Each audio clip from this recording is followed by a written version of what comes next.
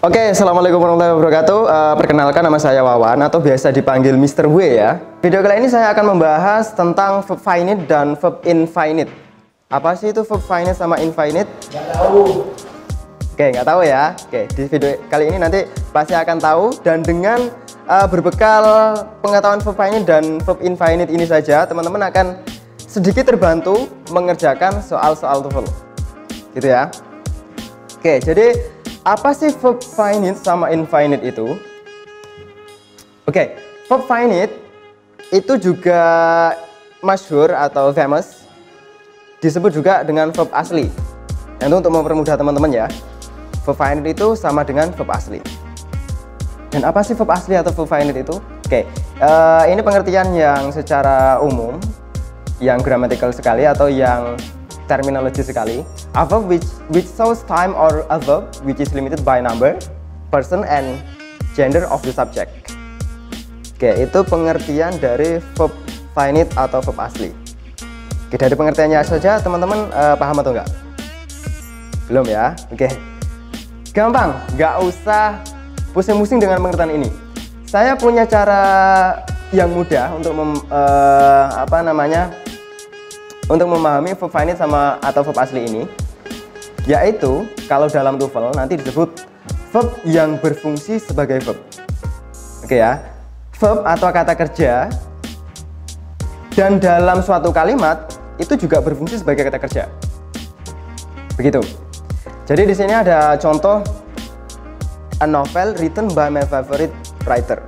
Oke di situ yang bold atau ber, bercetak tebal red di situ adalah verb asli.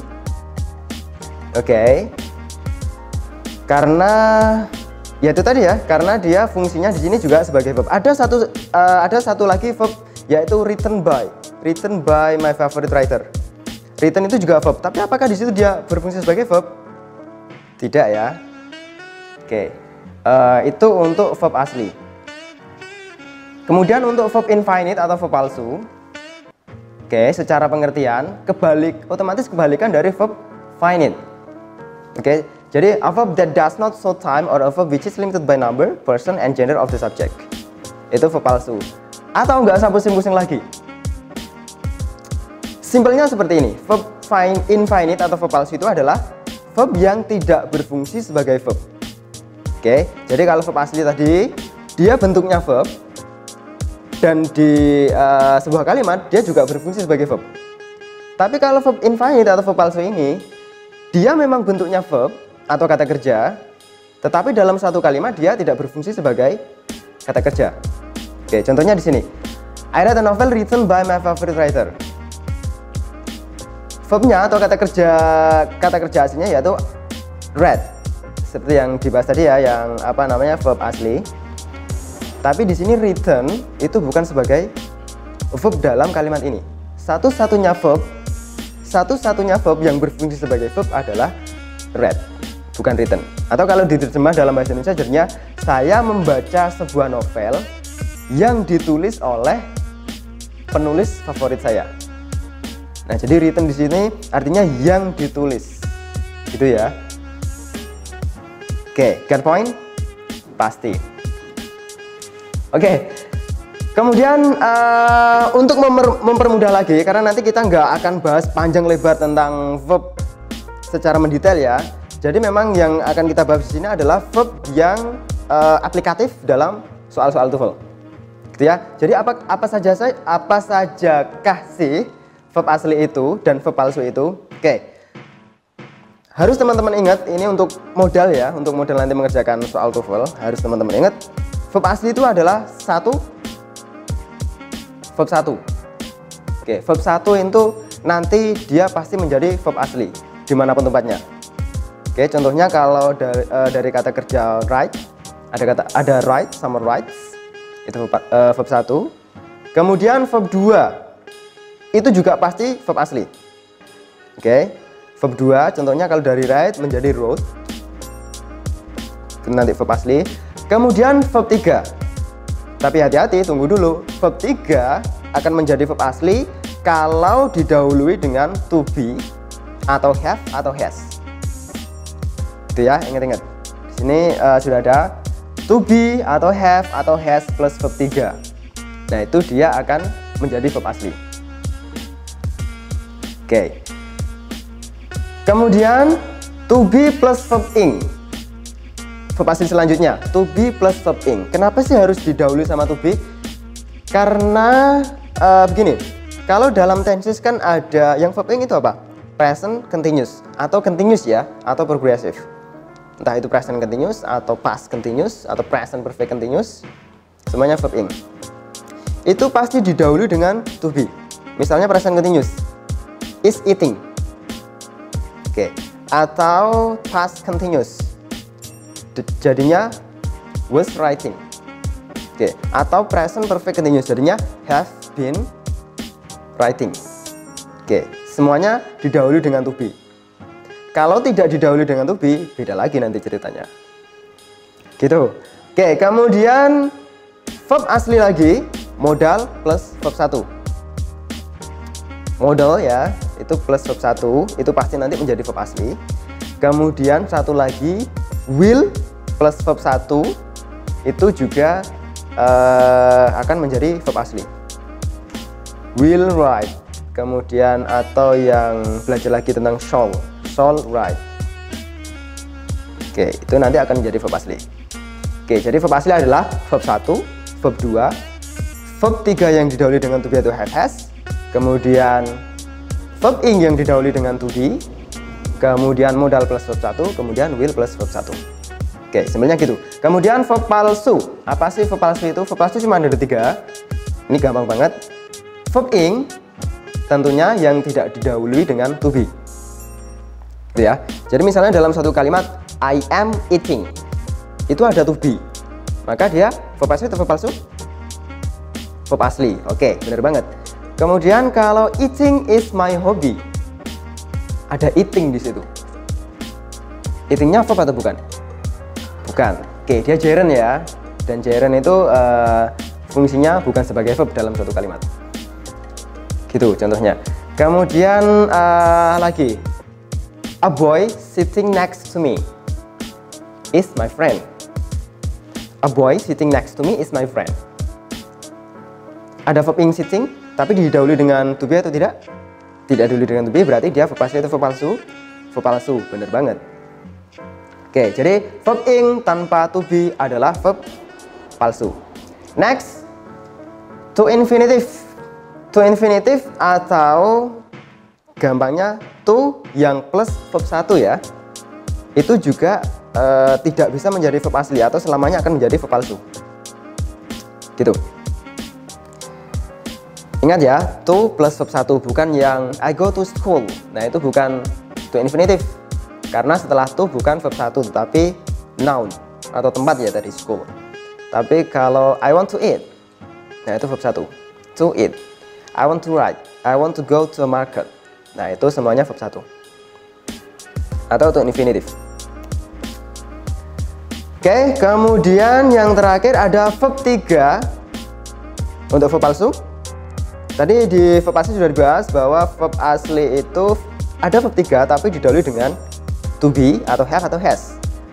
Kalau verb palsu, verb 3 saja tanpa didahului oleh uh, verb uh, sorry, to be atau have atau has. Oke. Namanya seperti itu. Jadi verb palsu adalah verb ing to infinitive, kemudian verb 3 tanpa didahului oleh to be. Gampang ya? Oke. Kenapa sih kita harus uh, benar-benar uh, paham tentang verb asli atau verb palsu? Karena gini, teman-teman. Next slide. Oke. Di dalam TOEFL itu uh, semua soal di dalam TOEFL baik yang soal 1 sampai 15 yang multiple choice uh, mengisi yang rumpang atau yang blank. Kemudian uh, yang nomor 16 sampai 40 yang error analisis itu semuanya nomor 1 sampai 40 itu berupa kalimat. Gitu ya, semuanya berupa kalimat. Dan kalimat itu dan uh, suatu kalimat itu tidak akan lepas dari yang namanya verb. Gitu. Jadi yang kita bisa tarik dari uh, pelajaran apa namanya tadi bahasan verb asli sama verb palsu dalam TOEFL adalah seperti ini. Ini benar-benar diingat ya, karena ini nanti akan eh, benar-benar menjadi bekal dalam mengerjakan soal TOEFL. Satu kalimat membutuhkan satu verb asli. Oke, ditanamkan ke kepalanya masing-masing. Satu kalimat membutuhkan satu verb asli. Boleh nggak dua? Kalau misalnya ada dua verb asli, boleh, tapi ada syaratnya. Misalnya saya bilang uh, I eat drink, gitu enak apa enggak? Oke, nggak enak. Kalau saya bilang I eat and drink, enak. Oke, jadi ada dua verb asli, syaratnya harus ada n. Nah, n itu apa? Conjunction, benar banget. Jadi, apabila dalam satu kalimat terdapat dua verb asli, maka harus ada conjunction atau kata penghubung. Yang kita tahu conjunction itu adalah and, kemudian or, kemudian apa lagi? Kata penghubung ya but itu kata penghubung tapi nanti uh, di dalam TOEFL akan sedikit lebih variatif kemudian satu kalimat boleh terdiri atas satu verb asli dan beberapa verb palsu. Jadi verb aslinya boleh satu. Uh, verb aslinya satu dan verb palsunya boleh banyak. Gitu ya. Tanpa adanya conjunction. Gitu ya. Jadi yang membutuhkan satu conjunction itu kalau ada dua verb. Dan begitu seterusnya. Dua verb satu conjunction. Otomatis kalau verbnya tiga akan ada dua conjunction. Oke. kalau verbnya empat verb asli ya akan ada tiga conjunction nah syaratnya seperti itu oke biar enggak lama-lama kita langsung ke soal contoh soal ya tentang verb asli sama verb palsu Uh, ini soalnya saya ambilkan dari buku Longman. Jadi benar-benar buku TOEFL. Saya pilih Longman dulu karena Longman ini bagus untuk pemula. Ya. Oke, di sini uh, bahasanya sama. Kita sederhanakan verb asli dan palsu. Nah, kalau di Longman di sini bahasanya be careful of past participle atau nanti ada present participle juga. Oke, karena uh, verb asli verb palsu itu nanti kalau dijabarkan hubungannya sama present participle sama past participle. Oke, nggak usah bingung-bingung sama itu. Yang penting tadi uh, yang harus digaris bawah itu uh, harus benar-benar diingat. Oke, di sini ada contoh the man is talking to his friend is talking. Nah, di situ garis di garis bawahi bahwa di situ verb. Karena memang di situ fungsinya juga sebagai verb verb asli atau verb palsu? Oke, verb asli karena all talking didahului dengan to be. Nah, di situ is. Kemudian yang bawah, the man talking to his friend has a beard. Talking di situ verb asli atau verb palsu? Verb palsu, benar banget karena tidak didahului dengan to be. Mantap. Nah, kalau yang contoh ini the man talking to his friend has a beard, has a beard uh, itu verb aslinya yang mana? Has, benar banget. Oke, has itu di situ verb 1 dan dia pasti verb asli. Oke, jadi di sini ada seperti pernyataan nomor 3 tadi ya. Boleh ada satu verb asli dan boleh beberapa verb palsu tanpa ada conjunction. Atau di sini ada satu verb asli has, kemudian uh, ada satu verb palsu talking dan tidak ada conjunction dan tidak masalah. Masih meaningful, masih gramatikal, masih berterima. Tuh, oke. Okay. Contoh kalau ini gimana? The child bla bla bla playing in the yard is my son. Nah, ini nanti aplikasinya ke dalam soal TOEFL ya. Oke, coba kita cari uh, dalam kalimat ini sudah ada verb aslinya atau belum? Sudah ada, oke. Okay. Is di situ verb asli. Oke, okay, to be itu juga termasuk verb ya, teman-teman. Tapi nanti pembagiannya lain to be itu termasuk verb dan is di sini dia menjadi verb asli dia verb satu kemudian uh, ada playing oke kita pilih satu-satu kalau kita misalnya taruh uh, a now di situ apakah akan benar oke kita lewati dulu kalau B, kita taruh is di situ. The child is playing in the yard is my son. Oke, maka akan ada dua verb asli. dua verb asli dan apakah ada conjunction? Tidak ada. Dua verb asli tanpa satu conjunction tidak bisa. Maka Bravo tidak bisa. Yang Charlie The child he playing, nah nanti akan double subject, itu juga tidak bisa. Yang delta, the child was playing, nah itu nanti sama dengan B. Oke, okay? sama dengan B yang bravo. Artinya akan ada dua verb tanpa uh, dua verb asli tanpa conjunction. Jadi yang paling benar adalah alpha now. Gitu ya. Jadi kita tidak perlu menambah verb lagi karena tidak ada conjunction. Kalau diartikan the child now playing in the yard is my son uh, anak yang sedang bermain di lapangan itu adalah anak lelaki saya. Gitu ya, get the point? Jadi uh, satu verb asli, satu verb palsu tanpa conjunction. Oke, mantap. Kemudian kita ke itu tadi verb palsu yang uh, verb asli atau verb palsu yang verb ing ya. Verb ing tanpa to be dan yang dengan to be. Oke. Kemudian ada contoh lagi.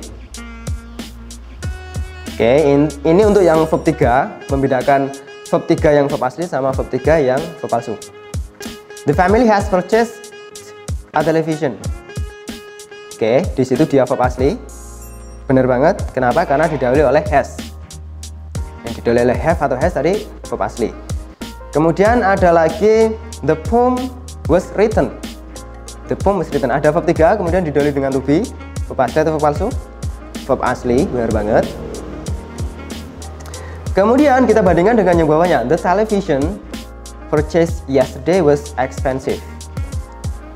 Di situ ada purchased uh, dia tidak didahului dengan to be Oke, verb 3 dan tidak ditulis dengan to be, maka dia verb palsu. Maka di situ dia ditulisnya adjective, bukan verb karena memang fungsinya bukan sebagai verb.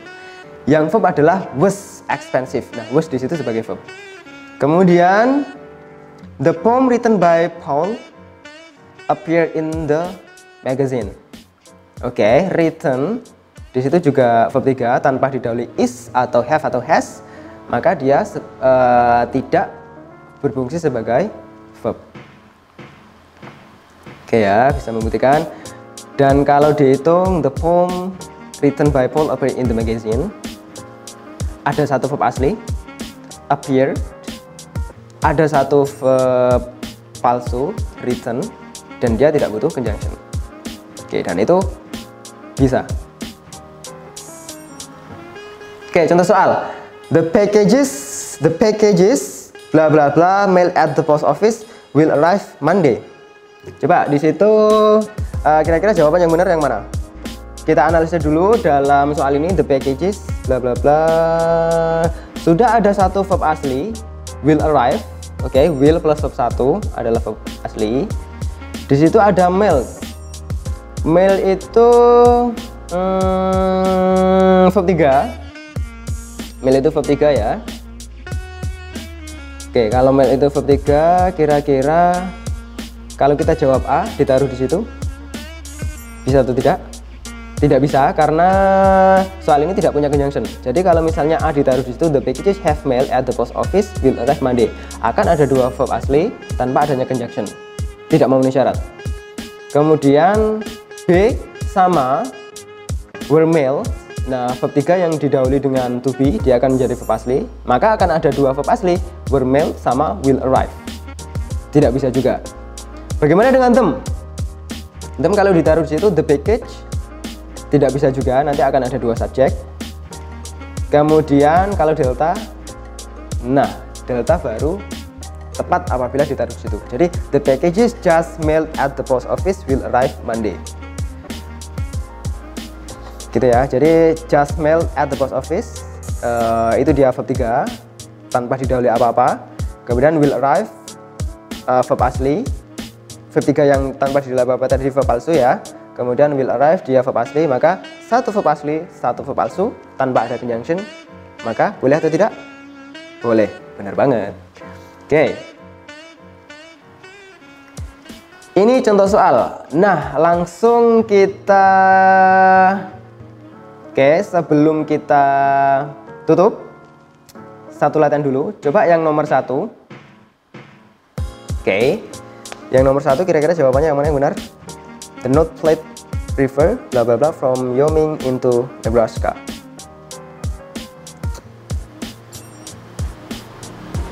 Jawabannya adalah Bravo. Oke, coba kita lihat. The North Platte River bla bla bla from Wyoming into Nebraska. Oke, memang di situ tidak ada verbnya sama sekali. Sedangkan tadi syaratnya satu kalimat itu harus ada verb aslinya. Di sini tidak ada verb sama sekali, baik verb asli ataupun verb palsu. Kalau alpha it flowed tidak bisa karena di sini sebenarnya uh, butuhnya verb saja ya. Kalau alpha itu dia subjek verb. Nah, sedangkan di sini sudah punya subjek the North Platte River. Maka tidak memenuhi syarat. Kalau Bravo verb 1 sebagai verb asli, oke okay, mungkin, tapi kita save dulu, kita lanjut ke Charlie. Flowing flowing tanpa didahului dengan to be. Tidak bisa ya. Karena di situ nomor satu sebenarnya butuhnya yang verb asli. Nah, kalau Charlie di situ uh, akan membentuk verb palsu. Yang delta sama juga flowing tanpa ada didahului dengan to be, maka dia verb palsu. Sedangkan butuhnya yang nomor satu ini adalah verb asli. Maka satu-satunya jawaban yang benar adalah bravo, flows. Benar banget. Oke ya, itu untuk nomor satu. Kemudian kita ke saya pilihkan yang agak gampang dan yang relate sama materi kita hari ini. Bla bla bla. Oke, coba nomor 7. Henry Adams, born in Boston, bla bla bla, famous as a historian and novelist. Kita analisa soalnya. Ada satu verb born in Boston. Oke, akan tetapi dia verb 3 dan tanpa didahului apa-apa, maka dia verb palsu. Oke. Apakah sudah ada verb asli dalam nomor 7 ini? Belum ada. Oke. Kalau belum ada, jadi satu-satunya yang bisa mengisi adalah satu verb asli. Coba kita cari. Became? Oke, okay, mungkin, tapi kita save dulu. And became satu verb, kemudian satu conjunction, tidak ada verb lagi, tidak bisa. Kemudian Charlie, he was. Oke, okay, ada satu verb was, tetapi nanti akan double subject, he. Sudah ada subjeknya ya, Henry Adams, maka tidak perlu ditambah he. Kemudian delta sudah ditambahi conjunction, sudah ditambahi subjek. Itu nonsense nanti, tidak bisa. Jadi satu-satunya jawaban yang benar adalah became alpha. Oke, benar banget. Jadi kalau kita jawab alpha became Henry Adams born in Boston, uh, born, born in dia verb 3 artinya verb palsu. Kemudian became di situ menjadi verb asli dan bentuknya adalah verb 2. Nah, verb 2 tadi sudah kita bahas ya. Verb 2 selamanya akan menjadi verb asli. Oke, benar banget. Mantap untuk teman-teman uh, pejuang TOEFL Indonesia. Semoga dengan adanya sedikit materi ini bisa mempermudah teman-teman dalam mengerjakan soal TOEFL. Tentunya verb asli sama verb palsu ini tidak cukup ya, tidak cukup uh, untuk mendapatkan 500 Wow, kita belajar verb asli sama verb palsu aja sudah mendapatkan uh, eh, 500. Tentunya belum bisa ya. Jadi masih ada materi-materi selanjutnya yang relate dan yang harus dikuasai oleh teman-teman agar bisa mendapatkan skor uh, eh, 500 atau lebih dari itu. Begitu. Untuk itu jangan lupa uh, subscribe channel ini agar nanti update-update materi teman-teman bisa update kemudian jangan lupa uh, share ke teman-teman agar lebih banyak yang tahu bahwa ada channel yang uh, membagikan membagikan pengalaman mengerjakan TOEFL berdasarkan uh, metode kampung Inggris gitu. So jangan lupa subscribe channel ini. Kemudian uh, share ke teman-teman agar banyak yang lebih tahu. Dan jangan lupa like video ini jika suka. Dislike kalau tidak suka karena bagi saya dislike itu adalah uh, mengkritik ya. Dan mengkritik itu adalah uh, cara menyayangi dengan cara yang beda Gini, mengkritik adalah menyayangi dengan cara yang berbeda. Jadi, tidak apa-apa dislike kalau tidak suka. Begitu untuk video kali ini. Terima kasih banyak teman-teman. Semoga bermanfaat. Ketemu lagi di video selanjutnya bersama saya Mr. W. And Assalamualaikum warahmatullahi wabarakatuh. Berapa menit mas? 26 menit